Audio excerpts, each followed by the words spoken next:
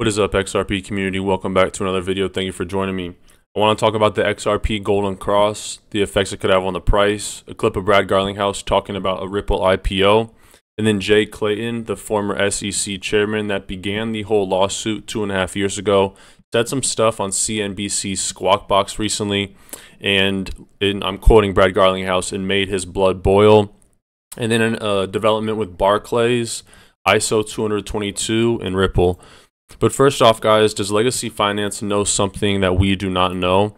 The first Bitcoin ETF, um, Grayscale Bitcoin, and ProShares have had a surge in activity, and this is probably based off speculation. I have a hair in my mouth. That the Bitcoin ETF is going to go live soon. Um, BITO, this Bitcoin ETF, traded 1.7 billion last week. Its second biggest week since its wild week one. So why is this ETF getting massive amounts of volume? Um, the most it's gotten in two years. Maybe they know something we don't know. The second biggest week, Grayscale Bitcoin did 800 million. And guys, this is one of the most important metrics to start the next bull run. If you don't know what this is, this is the Grayscale Bitcoin discount. So Grayscale allows institutional investors to buy Bitcoin and it's currently trading below the price of a Bitcoin. At the worst part of the bear market, it was negative 40%, meaning you could buy a Bitcoin through Grayscale for a 40% discount. So ask yourself, why is institutional money, why are people with billions of dollars going to be buying Bitcoin off the spot market when they could buy it through Grayscale's trust for a 40% discount? We've seen a rally in the past few months. It's now at negative 10%. And in my opinion, this is the most important bull bear metric. You won't see another bull market until the grayscale Bitcoin discount is not a discount. Because, like I just said, why would smart money buy Bitcoin, which is going to rally the whole crypto market, when they can buy it at a discount, about 12% right now, through grayscale? The grayscale discount keeps narrowing, and maybe traditional finance knows something we don't know yet. Guys, if you want $41 for free, sign up with Webull, deposit one penny. You can get up to $3,000 in free stocks. Typically, you just get 40 to 300 bucks, but you're guaranteed $41 just for signing up and depositing one penny. Sell the stocks, close your account, buy some more XRP if you want. A link to Webull in the video description below. Make sure you guys smash that like button if you enjoy this content. It really does support the channel, and it lets me know that this is valuable content for you guys. So This is from Rohit Ku, Barclays in November 2023. We have a big month coming up. Typically, November and December are bullish for crypto. And all of these ISO implementations are happening in late November.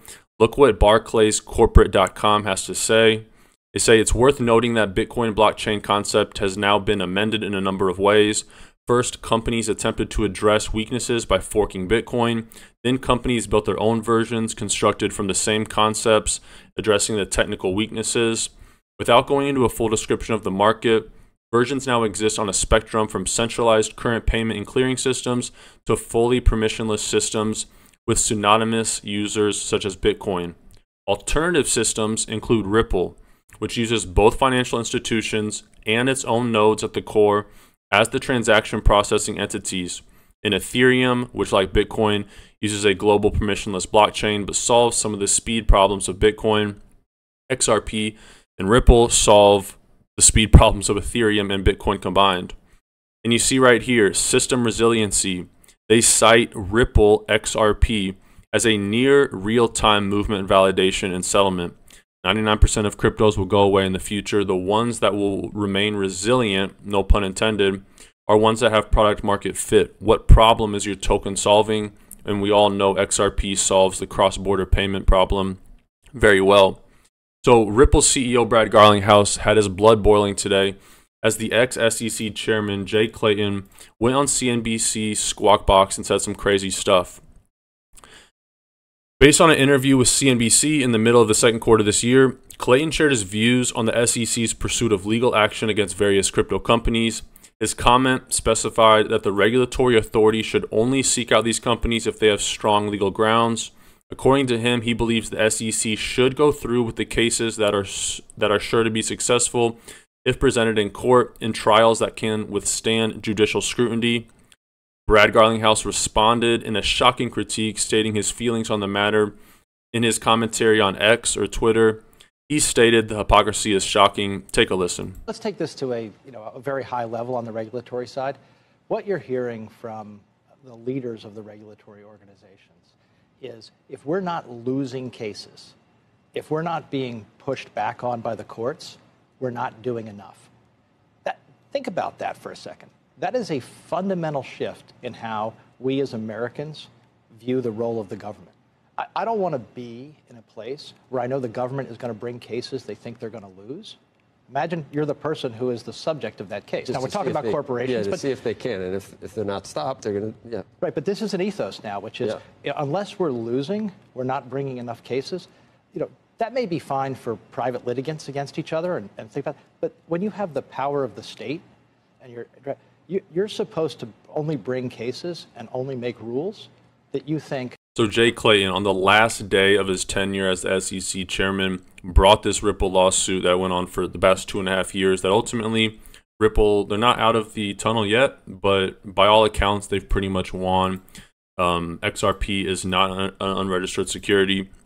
But the hypocrisy and the irony of the guy that sued one of the most, if not the most legitimate crypto company in the USA, Ripple, arming innovation, holding back technology that really can solve a lot of problems in the financial industry, describing SEC Chairman Gary Gensler as his ethos is deeply un American. If we're not losing cases, we aren't suing enough businesses. This came from Cameron Winklevoss. Absolute, absolute hypocrisy. Disgusting to see. And listen to this clip right here of Brad Garlinghouse talking about a Ripple IPO what happens, you've spoken maybe an IPO, right? That might be coming. Well, it, the Securities Exchange Commission has to approve an S1 in order for a company to be public. Yeah. Uh, and so, you know, we go, trying to go public during that time doesn't make a lot of sense. But you know, look, R- Ripple has uh, grown into one of the leading crypto companies out there. Uh, I have said publicly before that I, I didn't think Ripple would be the first public crypto company, nor would be the last.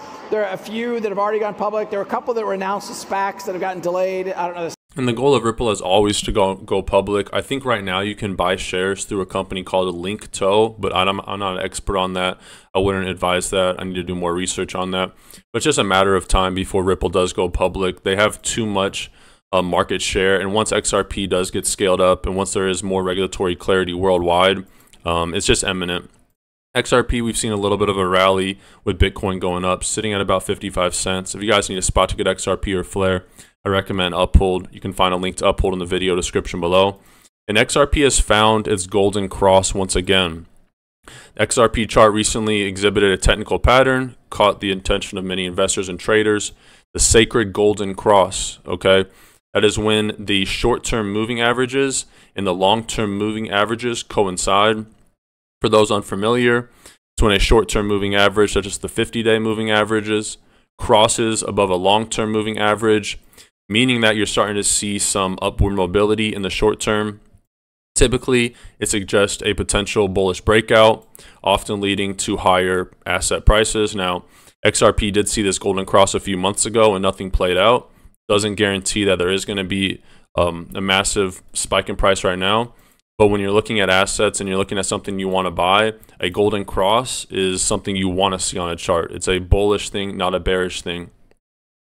And look at this great thread here from uh, Flip the Chain. There's a 30 second clip at the end. But Ripple Research had XRPL is the perfect blockchain for central limit order DEX because the transaction fee is almost zero. This means the entire Nasdaq and S&P can be moved to XRPL by tokenizing stocks. Talked about tokenization a lot. In the future, you won't be buying stocks on stock exchanges. You'll be buying tokenized stocks on decentralized blockchains. Now look at all these uh, developments of companies. Metaco was acquired by Ripple. It was quite strategic. With this acquisition, Ripple can offer services like trading, tokenization, staking, smart contract management, and asset custody. These portfolio of services shall be good enough to mitigate or to migrate the stock trading, securities, and derivative markets to the XRP ledger, which would be massive. That's hundreds of trillions of dollars.